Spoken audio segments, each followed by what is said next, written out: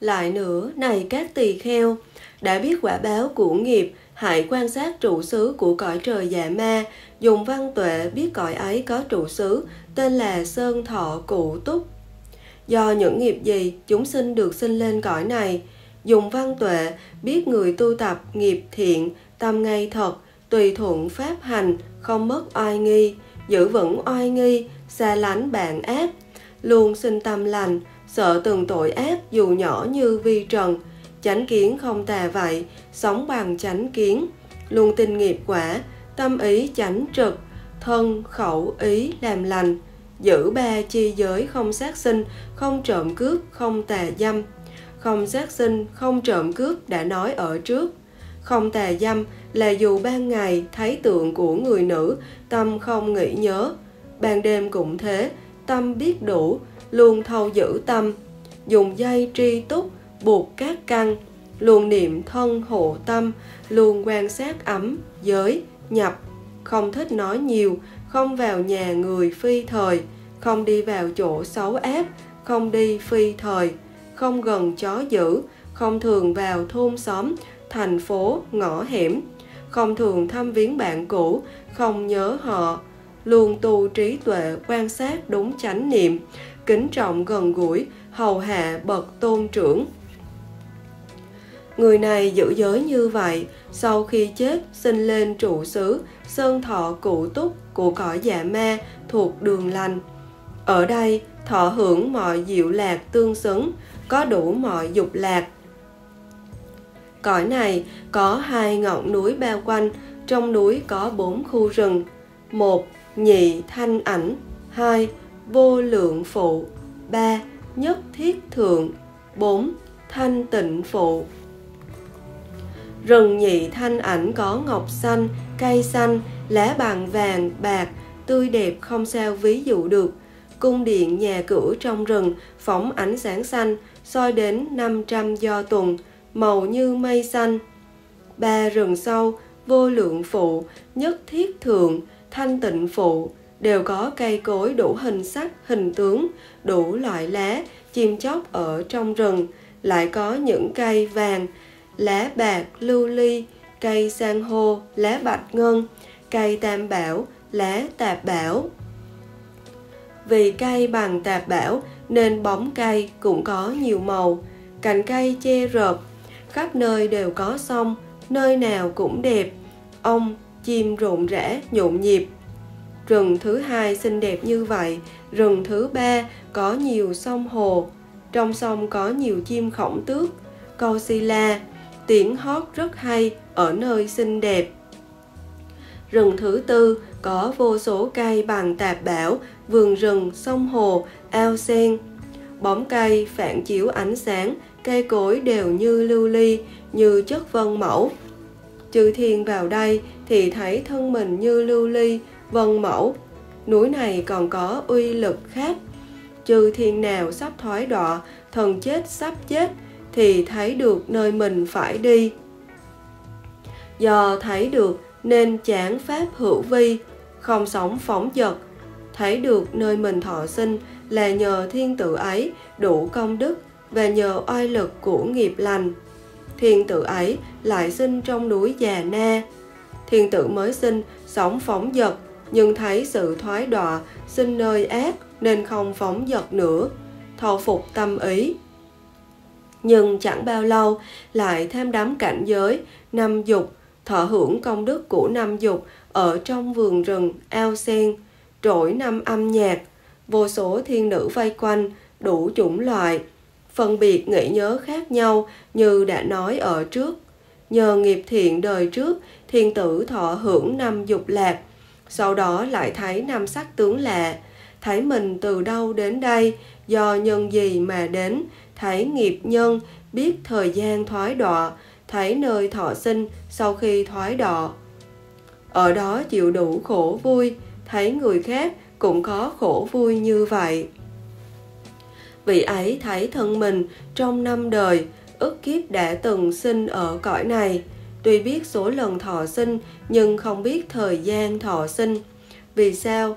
Vì trí kém không thể suy lường được người ấy thấy được uy lực của ngọn núi và nghiệp thiện như vậy, thấy những việc thiên tử sợ tội sinh tử, chán ghét nghiệp thiện, huống gì là phi phước thiện bỏ hết tạp nghiệp, nhận thấy mọi thứ đều có lỗi, đưa đến khổ não vì trong đó xen tạp nhiều tội ác thấy như vậy rồi, luôn lo sợ, tránh xa tội ác sinh tử, càng nhiều suy não. Thấy sự ràng buộc nên không tham lạc, xem những dục là cõi trời là xúc vị, sắc, hương như chất độc, không thấy vui. Người ấy đã chán ghét những diệu là cõi trời, sau đó nói với chư thiên khác để họ làm lợi ích an lạc. Thiên tự ấy khéo tu tập thân, khẩu ý, lành làm pháp sư, giảng thuyết chánh pháp cho người khác, nói pháp phật cho những chúng sinh phóng dật, sợ phóng dật. Chúng sinh phóng dật sẽ sinh vào đường ác, liền nói năm sự lo sợ cho chúng sinh sinh, già, bệnh, chết, nghiệp. Chúng sinh tạo nghiệp nên được nơi vui đẹp, lo sợ mất mát, chỉ cho họ biết không vì tham vật, không có tâm du nịnh cũng chẳng mong cầu được cúng dường, cử thuyết giảng chánh pháp cho người, đem những gì mình nghe ra, thuyết giảng ví dụ, sợ ít được nghe học lời phật, đem những ví dụ về đời sau mà mình được nghe để suy lường, giảng thuyết.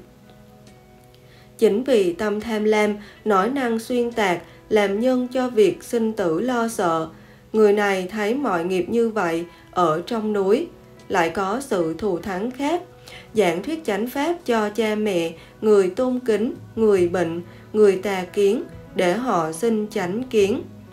Thuyết pháp cho người sắp chết, nếu họ cho rằng sự sinh tử là ngẫu nhiên, không có nhân duyên, thì giảng pháp nhân duyên cho họ.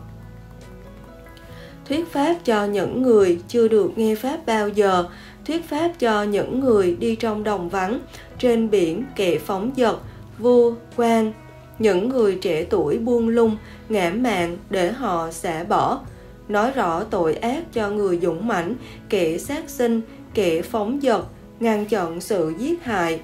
Thuyết pháp cho những người thích tranh chấp, mong sinh lên trời. Kẻ điên đảo, tranh đấu, giết hại để họ không làm nữa. Thuyết pháp cho những người săn bắn để họ trừ bỏ. Thuyết pháp cho những người phụ nữ ganh ghét để họ không ganh ghét người này đã thuyết pháp chân thật cho 10, 12 hạng người. Sau khi chết, sinh lên cõi sơn thọ cụ túc của cõi trời già ma. Ở đó, nhìn vào vách núi, thấy rõ nghiệp sinh tử, chán ghét sự sinh tử. Còn những người không thuyết pháp cho người khác mà được sinh ở đây thì không thấy những nghiệp đó. Sau đó, thọ hưởng dục lạc, vui chơi, thọ nhận công đức của năm dục, nghe tiếng nhạc, tiếng chim, thấy sắc đẹp, ngửi hương thơm. Trong ao sen có vô số loài ong rộn rã, thọ lạc xong, họ lại đến chỗ bằng phẳng của ngọn núi để hưởng lạc, đủ công đức xinh đẹp.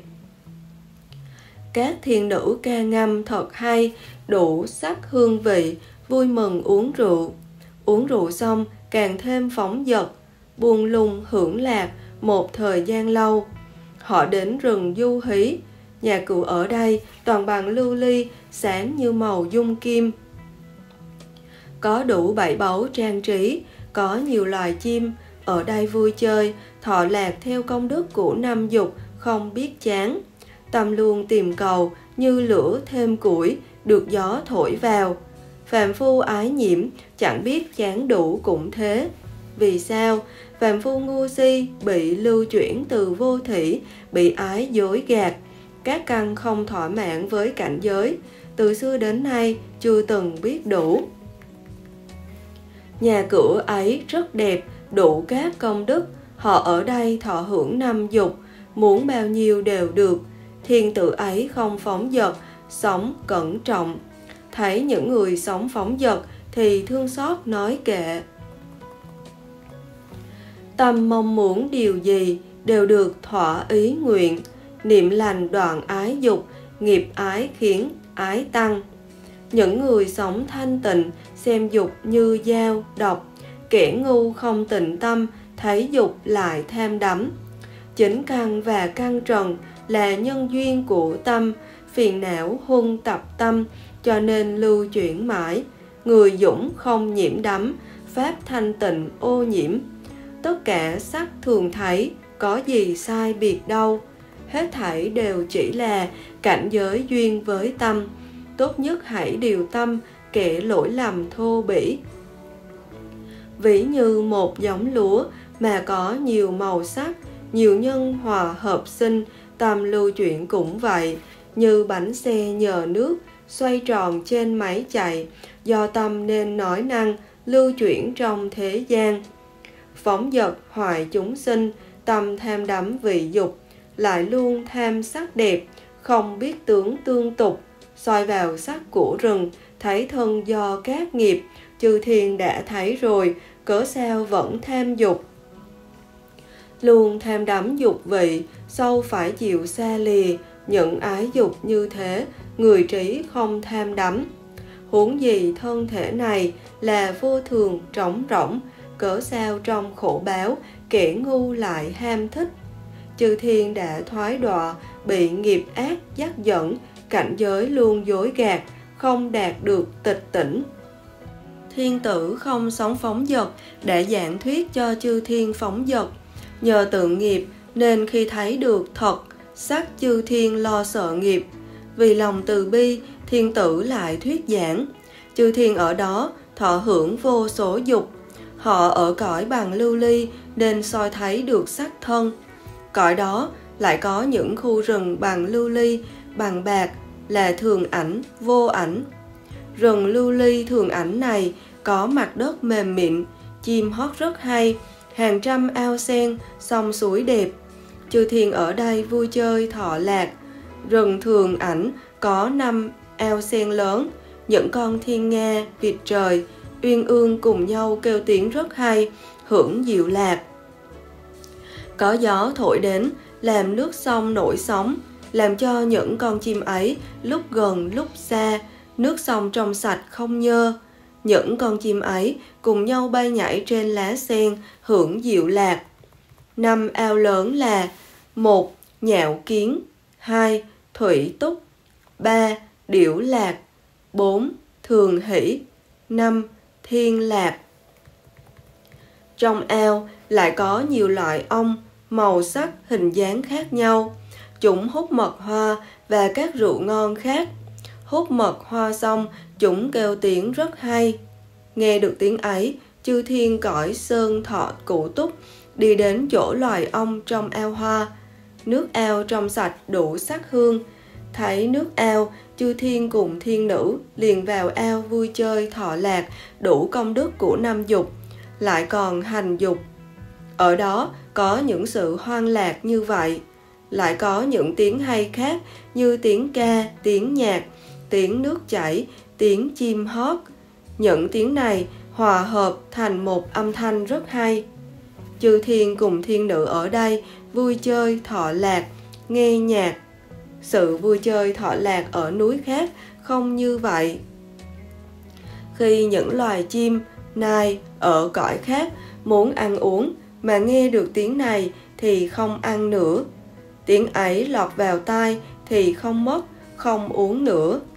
Thiên chúng ở cõi trời khác nghe được tiếng này còn rất ngạc nhiên. Huống gì là súc sinh? Cứ thế, chư thiên cõi sơn thọ cụ túc, hưởng dục lạc ở năm ao sen kia trong thời gian lâu. Nhưng vì tham rượu, dục lạc, họ lại đến rừng thức uống. Rừng này có nhiều rượu, nên gọi là ẩm lâm. Nhờ lực nơi nghiệp thiện, khi chư thiên đến đây, thì nước ao trong sạch biến mất. Rượu trời thơm ngon sinh ra mùi thơm của rượu xông khắp năm do tuần chư thiên đi lại tùy ý muốn rượu sinh ra. Đây là dục lạc hơn hết của cõi trời. Vì tùy ý thọ lạc nên là lạc tối thượng. Chỉ có nó là diệu lạc không còn diệu lạc nào khác. Rượu này chỉ tùy niệm của họ mà đã là hoang lạc nhất. Huống gì là hoang lạc nơi công đức của năm dục, năm âm nhạc, dục lạc cùng thiên nữ thọ hưởng. Lại có những hoang lạc tùy ý, sự vui chơi và sự thọ hưởng khác nữa. Loại rượu này không có lỗi vì uống vào thỏa thích vô cùng, không sao nói được. Chư thiên này cùng thiên nữ uống rượu buông lung thọ lạc, luôn bị tham ái che lấp tâm. Huân tập từ vô thị đến nay không sao bỏ được, bị tham ái dối gạt nên không biết chán, như thêm củi vào lửa. Chư thiên cõi sơn thọ cụ túc lại nghĩ, Hôm nay chúng ta lên đỉnh núi này, họ yêu mến nhau, đồng một lòng vui vẻ, cùng thọ lạc đến núi này. Nhờ nghiệp thiện, thân họ sáng rực. Họ dùng thần thông bay lên hư không để đến núi đó, nghe năm âm nhạc. Khắp núi ấy vang lên tiếng nhạc, hương thơm xông khắp núi, ánh sáng chiếu khắp hư không. Dùng thần thông lên đỉnh núi, họ thấy được vô số sông suối, ao sen, vườn rừng, nghe tiếng chim hót, nghe được hương thơm. Đỉnh núi bằng phẳng, sáng rực, họ cùng thiên nữ vui chơi, thọ lạc ở đây. Do nghiệp nên chư thiên có được nhiều, ít, vừa các thiên nữ khác nhau. Có người được một trăm, hai trăm, ba trăm, có người được một ngàn, hai ngàn, ba ngàn, hai vạn. Họ ca hát vui chơi, thọ lạc ở khắp các khu rừng. Trong ao sen có nhiều loài ong đẹp, vui chơi, thọ lạc, nghe năm âm nhạc. Núi này có nhiều vật báu, trang sức. Họ dạo đi khắp ngọn núi này, thọ hưởng hoang lạc. Đá ở núi này toàn bằng đá quý, sáng hơn mặt trời. Mặt đất mềm mịn như tơ lụa, đẹp nhất cõi diệp phù đề, cù đà ni, đầu xuất và tơ lụa ở những cõi khác. Khi đặt chân xuống thì mặt đất lúng, cất chân lên thì bằng phẳng. Mọi thứ vật báu, mặt đất, cây cối, vườn rừng, núi non của núi này đều mềm mịn, tiếp xúc được thì rất thích ý. Mọi vật nhìn ngắm đều rất đáng yêu. Thiên tử, thiên nữ ở đây cùng nhau vui chơi, thọ nhận lạc theo năm dục. Họ ở đây ca hát, vui chơi thọ lạc một thời gian lâu. Họ nhìn thấy trong hư không có vần ánh sáng lớn như thiên cẩu. Thấy ánh sáng này, ngay cả chư thiên thù thắng cũng ngạc nhiên. Còn chư thiên bậc trung thì không sao nhìn được. Họ lấy tay che mắt, đi vào bóng cây. Chư thiên bậc hạ thì không chịu đựng nổi. Họ rất lo sợ cùng thiên nữ vào hang báu. Những thiên tử có oai đức lớn thì nhìn thấy được, lại quan sát kỹ, ngạc nhiên, họ tự nghĩ, đây là ánh sáng gì? Ai có ánh sáng vi diệu này? Ánh sáng diệu bảo của núi này bị ánh sáng khác chiếu soi nên không hiện ra được, chỉ như đốm lửa giữa hư không. Từ xưa đến nay ta chưa từng thấy. Thiên tử ấy lại nhìn thật kỹ, thấy thiên cẩu từ cõi trời hạ xuống có ánh sáng lớn chiếu khắp hư không như đuốc sáng rơi xuống. Nhìn lên, thiên tử thấy thiên cẩu như từ trên trời rơi xuống, biết được nó lớn nhỏ, dài ngắn. Suy xét xong, thiên tử ấy nói, thiên cẩu này lớn bằng năm ngàn do tuần, khắp hư không đều sáng rực không sao ví dụ được. Cứ thế, ánh sáng dần dần xuống gần, thiên tử dũng mãnh đó cũng không thể nhìn được nữa. Vì sao? Vì không phải cảnh giới của mắt thiên tử ấy. Vì không nhìn được ánh sáng lớn đó, thiên tử này cũng lấy tay che mắt lại. Một lát sau, thiên tử lại ngạc nhiên, mở mắt ra nhìn nữa. Thấy thiên cẩu đã xuống gần, tất cả thiên chúng đều nghi ngờ, hỏi nhau. Vật gì ở trong hư không rất là lạ, từ hư không rơi xuống. Họ không sao quyết đoán được, nói đây là vật gì, nhưng chỉ trong chốc lát thiên cẩu trong hư không kia lại biến mất. Biết thiên cẩu đi mất, những chư thiên và thiên nữ sợ hãi kia ra khỏi hang, không còn lo sợ, nói với nhau. Đây là vật gì cớ sao ta lại nghi ngờ, lo sợ, ngạc nhiên. Họ hỏi như vậy nên chẳng ai quyết định được, họ cứ hỏi như vậy mãi, sau đó lại vui chơi thọ lạc. Vì tâm loạn động nên vẫn tham đắm nơi cảnh giới và dục lạc khác. Nghe năm âm nhạc, vô số thiên chúng cùng thiên nữ vui chơi thọ lạc trong ao sen. Bấy giờ, Thiên vương Mau Tu Lâu Đà cùng vô số trăm ngàn thiên chúng, thiên nữ ngồi trên hoa sen, bay lên hư không, đi đến núi Già Na của cõi Sơn Thọ Cụ Túc. Thấy các thiên tử đầy đủ y phục, trang sức, hình sắc, công đức thù diệu, được thiên nữ hầu hạ, thọ hưởng diệu lạc nơi công đức của năm dục. Thiên vương Mau Tu Lâu Đà vui vẻ cùng thiên chúng, tức tốc đến cõi Sơn Thọ Cụ Túc. Thấy thiên vương, chư thiên và thiên nữ cõi này vội ra nghênh đón, trỗi nhạc, ca hát, vui mừng, hòa hợp, khen ngợi thiên vương Mau Tu Lâu Đà, cùng lên núi. Họ ở đây cùng trỗi nhạc, ca hát, vui chơi, thọ lạc một thời gian lâu. Nhìn lên hư không, thấy thiên cẩu từ trên trời rơi xuống. Có những việc như đã nói ở trước. Thấy việc lạ đó, họ nghi ngờ, lo sợ cùng đến gần thiên vương Mau Tu Lâu Đà. Nhìn thẳng lên hư không, rồi quan sát, nếu thiên tử nào đã từng nghe về thiên cẩu này thì bỏ phóng dật, cùng thiên chủ mau tu lâu đà thành tâm lạy phật. Còn những thiên tử kinh sợ thì trốn trong núi vàng, trốn dưới gốc cây. Hai hạng chư thiên này không có sức dũng mãnh.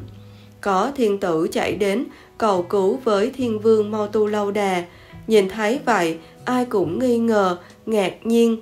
Thấy thế, thiên vương mau tu lâu đà bảo họ. Này các thiên tử, dù biết hay không biết ánh sáng này từ trong hư không sắp rơi xuống đất, các ông đều đến đây.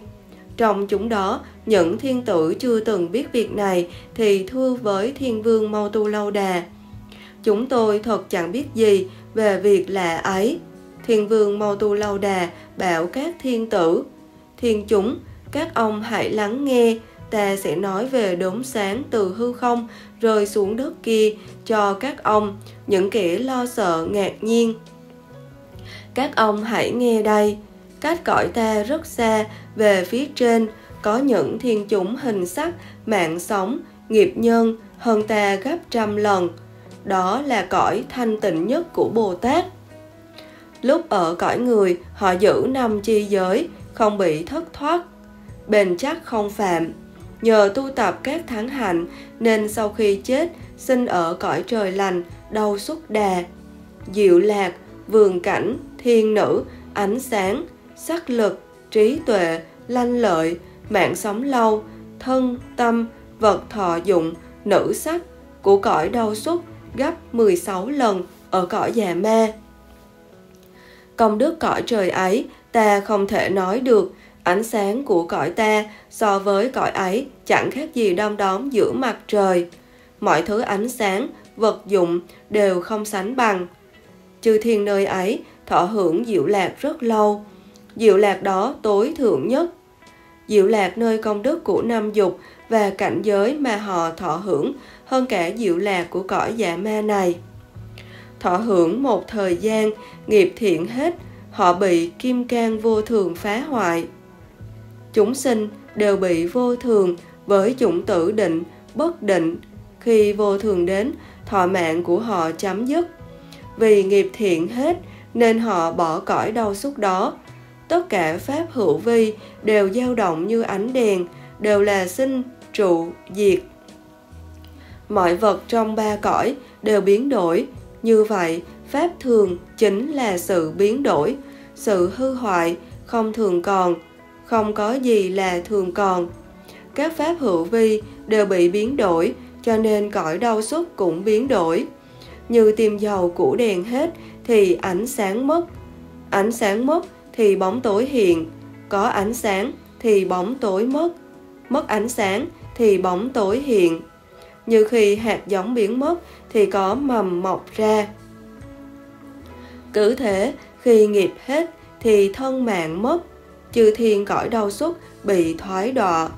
Hiện nay, các ông thấy chư thiên ấy bị thoái đọa theo nghiệp mà có tướng như vậy thân là vô ký tuy chết mà ánh sáng lại như vậy, huống gì là ánh sáng do vô số nghiệp thiện hóa sinh, thì thật thù thắng. Tất cả ánh sáng đều do nghiệp thiện hóa sinh. Từ nay, các ông hãy biến tướng ấy là như vậy. Nếu chưa chết, chư thiên ấy có ánh sáng oai đức, sự trang sức, nghiệp lực như thế nào? Việc ấy không sao nói hết, chẳng thể ví dụ được. Thiên tử ấy do bốn nghiệp thiện thù thắng hóa sinh mà còn chết. Huống gì là chúng ta, chỉ do ba chi giới và một ít nghiệp thiện hóa sinh. Các ông sinh ở cõi dạ ma đều bị vô thường hủy hoại, đều là nhơ uế. Cho nên chư thiên ấy đặc biệt hơn mà còn bị hủy hoại. Huống gì là các ông lại không bị hư hoại sao? Bấy giờ, thiên vương mâu tu lâu đà nói kệ sao vô thường thiên cẩu, sáng rực cõi đau xúc. Hết năng lực thì mất, dầu tim hết đèn tắt. Bị nghiệp lực công phá, gồm có 12 căm. Bánh xe nghiệp lưu chuyển, thượng trung hạ không ngừng. Tham đắm các cảnh giới, trang sức đủ các loại, luôn luôn muốn đầy đủ, thoái đọa mất quyền lực. Do thời tiết thuận lợi, cỏ cây phát sinh ra nhưng đến lúc nào đó, chúng sẽ bị khô héo. Đúng lúc thì chư thiên hưởng hoang lạc cõi trời. Nhưng đến lúc nào đó, thoái đọa mất quyền lực. Khi nghiệp đã hợp thời, lưu chuyển ở thế gian. Cũng theo thời gian đó, hết vui lại chịu khổ. Dù hưởng lạc chịu khổ, đừng tin cảnh giới còn. Tất cả các nhân duyên khổ vui đều sai khác. Mọi thứ đều chẳng vui, nghiệp lực đủ sức mạnh. Tất cả khổ vô thường chính là vì nghiệp nhân. Nên có quả sai khác, pháp hữu phi thay đổi. Muốn biết nhân duyên này, hãy biết bốn thánh đế. Đã biết bốn thánh đế, nhất định được giải thoát. Kẻ si tham cảnh giới, xoay chuyển ở thế gian. Nếu người nào biết được thế gian là vô thường, sẽ sinh tâm giải thoát ngăn những tâm độc ác. Cõi dạ ma có những sự phân biệt đáng sợ như vậy. Thiên vương dạ ma đã nói đúng pháp cho chư thiên nghe. Nghe xong, có thiên tử nhàm chán dục lạc. Có người chán ngán sự sinh tử, có người sợ sinh tử, nhưng tâm lại loạn động, ham thích cảnh giới trong núi già na có các vườn cây, vui chơi, sông suối, ao sen xinh đẹp, cây cối xum xuê, nhiều kho báu, chim chóc hót rất hay, có bảy thứ báu lớn trang trí núi, có các cảnh giới đẹp, sắc, thanh, hương, vị, xúc. Họ cùng thiên nữ vui chơi, thọ là cảnh giới, quên hết sự chán ngán trước, không còn nhớ gì cả.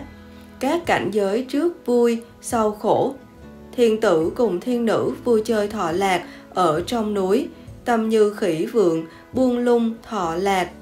Thiên chúng lại cùng thiên vương mau tu lâu đà trở về.